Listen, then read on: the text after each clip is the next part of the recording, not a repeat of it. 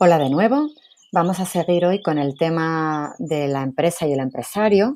En la última sesión estuvimos hablando de las funciones del empresario y de los cuatro elementos de las empresas y en esta sesión vamos a hablar de los objetivos empresariales y de las áreas funcionales de la empresa y ya con esto acabaríamos el tema. Bueno, vamos a ver los objetivos empresariales. Eh, vamos a ver, por un lado dice, nos, nos, dice, el objetivo básico de toda empresa es generar valor económico, ¿vale? Eso es lo fundamental. Es el objetivo principal de toda empresa, crear riqueza. Y como dice aquí en el más amplio sentido de la palabra, eh, ¿De qué manera crea riqueza la empresa? Bueno, pues por un lado, pues lo hace proporcionando bienes y servicios a la sociedad. Además, eh, proporciona trabajo a la sociedad. Ya vimos que en las relaciones entre empresas, familias, las empresas les ofrecen puestos de trabajo a las familias eh, las familias les dan la mano de obra a las empresas y las empresas a cambio le dan una remuneración. Pues en ese sentido, con esas remuneraciones que las empresas proporcionan a las familias, se está creando riqueza en la economía de un país. Y además de eso, como dice, pues proporciona rentas a todos los miembros de esa empresa, ¿de acuerdo? Otra forma de crear riqueza y eh, uno de los objetivos de las empresas también es incrementar su rentabilidad. ¿Cómo incrementa la empresa la rentabilidad? Pues por un lado puede maximizar sus beneficios o bien porque aumenten mucho sus ventas o bien porque minimicen los costes, como dice aquí. Otra manera de maximizar sus beneficios o de rentabilizar eh, el negocio es seleccionando las mejores inversiones, seleccionando aquellas inversiones que sean más rentables, que proporcionen una mayor rentabilidad, que no necesariamente tienen que ser las inversiones más costosas. ¿Vale? Puede ser una inversión económica y que mm, complementariamente proporcione mucha rentabilidad, muchos ingresos a la empresa. Además de eso, otro posible objetivo de las empresas es el crecimiento. La empresa tiene que procurar crecer. ¿Crecer cómo? Bueno, pues como aquí nos dice, podemos buscar un crecimiento interno de la empresa, ¿vale? Un crecimiento interno, pues puede ser, por ejemplo, como dice aquí, aumentando la producción, que se produzca cada vez más cantidad. Eh, puede ser aumentando las ventas, ¿vale? Vender cada vez más a los clientes que ya tenemos. Otra opción de crecimiento interno puede ser aumentando la cuota de mercado. ¿Qué se refiere a la cuota de mercado? Vamos a ver, cuando la empresa aumenta sus ventas, Puede ser porque está vendiendo más a los mismos consumidores. Si yo soy consumidora de Coca-Cola, de refresco de cola, puedo consumir cada vez más refresco de cola en mi casa, con lo cual la empresa de cola está vendiendo cada vez más, pero no está aumentando la cuota de mercado. En cambio, cuando una empresa aumenta su cuota de mercado es porque cada vez tiene más clientes. ¿vale? Acordaros de cuando, por ejemplo, eh, la marca de Colacao eh, hace anuncios de publicidad destinados a que los consumidores más mayores se acuerden de que por qué por ser mayor no puedo consumir colacao, ¿vale? Está intentando aumentar su cuota de mercado vía de que no solo consuman los niños eh, la bebida de colacao, sino que también las personas mayores. Y otra vía de crecimiento es el crecimiento externo. Crecimiento externo eh, ampliando su mercado fuera de las fronteras nacionales. ¿Vale? O fuera de las fronteras locales, por ejemplo, si es un comercio local. Imaginaros, por ejemplo, aquí en Málaga que tenemos perfumerías Primor, pues Primor podría hacer un crecimiento externo ampliando sus negocios fuera de la provincia de Málaga o fuera de Andalucía. Pensad en cuando Zara amplía negocio y crece de forma externa, abriendo negocios fuera de nuestro territorio nacional y abriendo por todo el mundo. Otro objetivo que tiene la empresa es la responsabilidad ética y social, cuando hablamos de la responsabilidad social corporativa y demás. Como dice aquí, ¿a quién está destinada? Pues hacia todos los colectivos con los que se relaciona directamente. Por un lado, con los propios trabajadores. ¿Cómo, se, cómo utiliza la empresa la responsabilidad ética y social con los propios trabajadores? Pues por un lado, eh, teniendo una normativa eh, laboral que sea muy favorecedora a los trabajadores, que les dé servicios sociales, que les dé comedores, que les dé servicios de guarderías, que les dé becas de estudios a los hijos, etcétera, etcétera. Todo eso formaría parte de la ética y de, la responsabilidad social. También con los proveedores, por ejemplo, ¿cómo puede hacer? Pues la empresa puede demostrar responsabilidad ética y social si eh, trabaja con proveedores que también compartan sus valores éticos y sociales, como que trabaje con proveedores que sean ecológicos o que no contaminen o que utilicen mano de obra nacional en vez de utilizar mano de obra de explotación. ¿Vale? Por ejemplo, con los clientes, ¿cómo puede demostrar la responsabilidad ética y social con los clientes? Pues, por ejemplo, un establecimiento que ponga depósitos para tirar eh, bombillas eh, usadas, eh, deterioradas, que pongan contenedores para recoger tapones, que pongan contenedores para recoger las pilas y a las cuales luego se les da un buen destino ecológico, un buen tratamiento. También podemos pensar en el sector público, como que, pues como que proporcionen subvenciones y que favorezcan al sector público de alguna manera. Eh, en el entorno social, ¿vale? Por ejemplo, una empresa que se preocupe por los colegios de la zona, por ejemplo, y que hagan talleres de huertas escolares, ¿vale? Hay muchísimas opciones, hay muchas empresas que demuestran su, su responsabilidad ética y social con su entorno social, con el barrio, con los ancianos, con los niños, ¿de acuerdo? Más cosas. Perdonad. Para conseguir todos estos objetivos, la empresa debe definir cuáles son sus objetivos. No solo objetivos generales, sino que también tiene que definir sus objetivos específicos, ¿vale? Primero se definen los objetivos generales y después se definen unos objetivos específicos que son aquellos que contribuyen al alcance de los objetivos generales. También hay que definir que tenemos objetivos a largo plazo, plazo superior a un año, y objetivos a corto plazo, objetivos que se tienen que cumplir a corto plazo, dentro de un año del ejercicio económico. ¿Qué pasa con estos objetivos? Con los objetivos nos podemos encontrar que haya conflictos de intereses. ¿Por qué?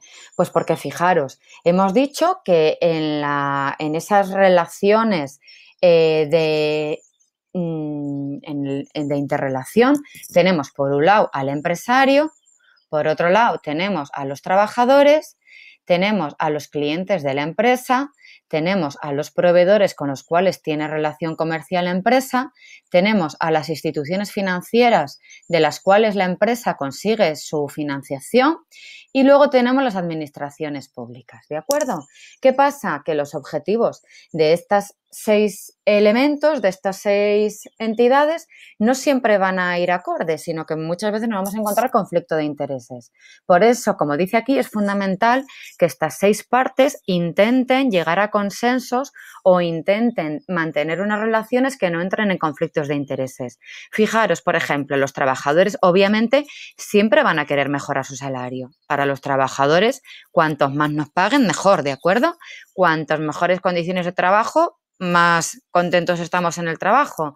Si además tenemos estabilidad en el empleo porque tenemos contratos indefinidos, pues tanto más contentos están los trabajadores. Pero ¿qué pasa? Que si la empresa tiene que pagar salarios muy altos a los trabajadores, esto va en contra de los intereses del empresario que quiere rentabilizar su negocio. ¿Vale? Entonces, hay que buscar un equilibrio entre estas dos partes, que muchas veces los, los intereses de estas dos partes van en contra. Por otra parte, los clientes además quieren que la empresa cumpla con los compromisos, ¿de acuerdo? Compromisos de entrega. A veces los compromisos de entrega no son tan fáciles de satisfacer por parte de la empresa. Por tanto, muchas veces los objetivos de la empresa y de los clientes también pueden ser eh, objetivos encontrados. El cliente quiere pagar cuanto menos mejor, el empresario quiere cobrar cuanto más mejor por sus productos. De la misma manera, entre la relación entre la empresa y los proveedores, a veces también se generan conflictos de intereses. Los proveedores quieren cobrar del empresario cuanto antes mejor, en cambio, el empresario quiere tardar lo más posible en pagar a sus proveedores porque de esa manera está consiguiendo un crédito comercial. Por tanto, como dice aquí, los proveedores van a intentar cobrar en unos plazos cortos y la empresa eh, tiene que intentar negociar unos plazos más largos. Pero lo más importante, como dice aquí, es que la empresa cumpla con los compromisos que se han marcado. ¿Qué pasa con las instituciones financieras? Pues un poco lo mismo. El empresario y las entidades financieras tienen ahí unas relaciones económicas por las cuales las instituciones financieras van a perseguir a toda costa que el empresario le devuelva el dinero que les ha sido prestado. De la misma manera, el empresario va a intentar conseguir ampliar los plazos de devolución, eh, que las entidades, las entidades financieras les proporcionen unos intereses cada vez más bajos en esos préstamos, etcétera. Y por último, las relaciones con con la administración pública, ¿vale? ¿Qué relación es esa? Pues fundamentalmente acordaros que la empresa tiene que pagar impuestos a la administración pública. Por tanto, la administración pública siempre va a perseguir que el empresario pague sus impuestos puntualmente y que además no cometa fraude fiscal, es decir, que se paguen puntualmente y que además se pague por todos los beneficios que obtiene el empresario. ¿vale? Es decir, en todas estas relaciones suele haber conflicto de objetivos, pero entre las partes tienen que intentar eh, buscar un punto de equilibrio para que las relaciones sean cada vez más provechosas para todas las partes. Y por último vamos a hablar de las áreas funcionales de la empresa. Eh, aquí abajo os dice que para poder coordinar todos los elementos de la empresa, aquellos elementos que hablábamos en la última sesión, y para alcanzar esos objetivos previstos, tanto los objetivos generales como los objetivos específicos, la empresa debe organizar sus departamentos en áreas funcionales que, como aquí dice, actúan conjuntamente y esto es importante y lo vamos a ver a continuación. ¿Cuáles son esas áreas funcionales que maneja la empresa? Bueno, pues fijaros, aquí tenemos por un lado el área comercial de la empresa, que es el responsable de hacer llegar a los consumidores los productos y servicios elaborados. ¿Vale? El área comercial normalmente realiza estudios de mercado, ¿vale? A través de los cuales detecta cuáles son las necesidades de los consumidores para fabricar, para diseñar unos productos que realmente satisfagan, unos productos o servicios, ¿vale? Que satisfagan esas necesidades de los consumidores. En función de estas necesidades de consumidores y de estos productos, va a diseñar la política comercial, ¿vale? Una política comercial que favorezca la comercialización de esos productos para que lleguen también a los clientes. ¿De acuerdo? Este área comercial está directamente eh, comunicada con el área de producción. ¿Por qué? Porque el área de producción no va a saber qué es lo que debe de producir y cómo si el área comercial no le proporciona la información que ha conseguido a través de estos estudios de mercado. ¿De acuerdo? Entonces, el área de producción utiliza la información que le ha proporcionado el área comercial y también el área de inversión y financiación. ¿Por qué? Porque el área de inversión y financiación es la que le va a proporcionar información al área de producción en el sentido de con qué recursos eh, contamos y de qué manera vamos a poder financiar y en qué vamos a poder invertir. Entonces, el área de producción va a producir lo que el área comercial le aconseje en función de lo que el área de inversión y financiación le abastece de, recursos económicos. Además de eso, el área de producción va a controlar el aprovisionamiento de las materias primas, ¿vale? Y además va a gestionar la producción, ¿vale? Por tanto, el área de producción necesita la información que le proporciona el área comercial y necesita la financiación que le, va a proporcionar el área de inversión y financiación. Con esa información del área comercial, con esos recursos del área de inversión y financiación, va a aprovisionarse de materias primas y va a producir los bienes y servicios que satisfacen las necesidades eh, de los consumidores que le ha orientado el área comercial. Y por último, tenemos el área de recursos humanos. ¿Que ¿A qué se dedica el área de recursos humanos? Bueno, pues selecciona y contrata la mano de obra que necesita eh, tanto el área de producción como el área comercial, como el área de inversión y financiación.